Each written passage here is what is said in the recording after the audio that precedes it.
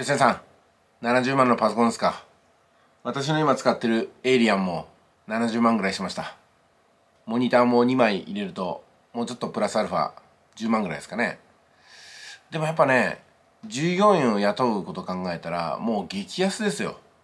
しかもパソコンは従業員のようにわがまま言わない。その日のパフォーマンス変わらない。もう自分のパソコンを使えるスキルとパソコンがそれに答えてやってくれることと本当にねもうラグがないですね全然ね。従業員っていうのは基本的に自分よりも私よりも能力の高い従業員を雇えないんですよ、うん、まあ例外はありますけども一部ね。でも基本的には私から見て自分よりも能力の高い人が来ることはないんですよ。だってその人から見ると私の方が能力低いからこんなやつに使われてたまるかみたいになるわけじゃないですか。私に雇われるぐらいだったらその高い能力を自分でやることに生かした方がいいですから基本的にはねうんやっぱり社長よりも能力の低い人しか来ないってことになりますよね。それこそ専門分野に特化した人をタスクフォースとしてね雇うっていう道はありますけども、まあ、なかなかねそこまで難しいことやってるわけじゃないですからね。だったら外注しようかって話になるじゃないですかやっぱり。いやそれでね今回ねその新車は誰でも買えるって話から広げていこうかなと思うんですけどもあの新車と中古車どっちがいいかみたいな論争っていうのはこれまた昔からあるんですけどもこういうこと聞いたことありません？中古車なんてさ前乗ってた人がどんな人か分かんないじゃん。いややっぱりね中古車とか買えないよね新車だよねみたいなね。いやそれはご立派な考えだと思いますよ。でもそれが本当に中古車を買わない理由だとしたらあなたはいつも新車に乗ってるんでしょ？じゃあタクシー乗れないですよね。前に誰が乗ったか分かんないでしょ？ね。映画館行きませんよね？前に誰が座ったか分かんないでしょ？みたいなことになるわけですよ。世の中ほとんどのものが中古でできてるんですよね。誰かが使ったものを自分もその後で使っている。その繰り返しだと思うんですよ。単なる先入観で新しいものがいい、うん、確かに新しいものにはその新しいものの良さがあるでしょ。自分がそれを染めていくんだっていうね。自分が最初のオーナーになる。もしくは自分に一番、うん、そのものなりね車なりが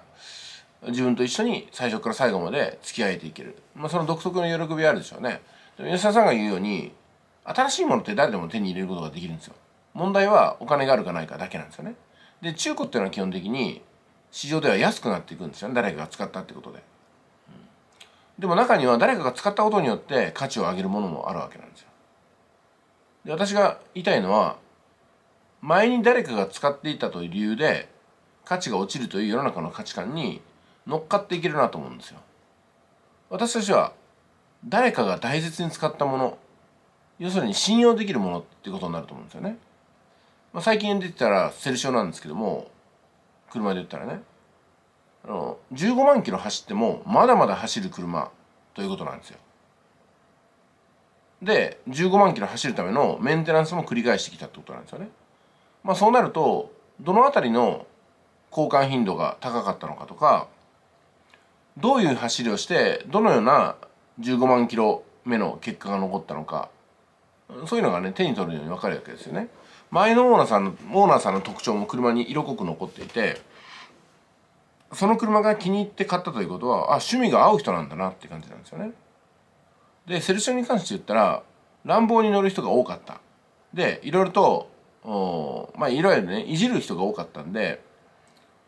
市場に残ってるやつっていうのは程度がいいやつなんですよね。そうやって十数年歴史がある車でも生き残ってきたものはこれからも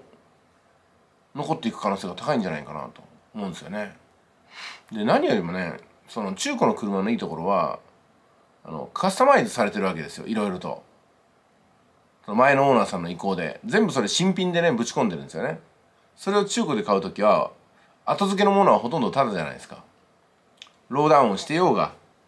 あのホイールインチアップしてようがほとんどタダみたいな金額になっちゃってるわけですよね。フルスポイラーでついていてもじゃあスポイラーつけてるからプラスアルファで代金くださいってことにはならないんですよ。むしろノーマルから遠くなってるんでなんかどっちかっていうと安いんですよね車ってね。うん。それは個性がもうしっかりと決まっちゃってる車ですからちょっと気に食わないなって言われる可能性が高いんですよね。で今回ねやっぱ検索で調べていくとあ自分が一番いい形があったなと思ったんで、うん、選びましたけどもまあ価格は安かったですね。ラッキーだったなと思います。で中古のものであんまり良くないのはパソコンですかね。パソコンはやっぱり新品じゃないと、うん、だから中古ってことは少なくとも2年とか3年落ちのやつっていうのは2年前3年前の CPU だったりするわけですよ。ハードディスクの容量だったりね、うん、あと余計なデータが残っていてこれから自分が使おうとするデータに干渉するかもしれないですよね。でそういうふうなあの、まあ、もしかしたら消去不能のウイルスが入っていて作業に支障をきたすみたいなこともあるんでパソコンはやっぱ中古は良くないなと思います。中古で人に譲るのも良くないと思いますね。あこれ別に中古で譲ってもちゃんとメンテナンスすればいいと思いますけども基本的に完全にデータ消去ってできないんで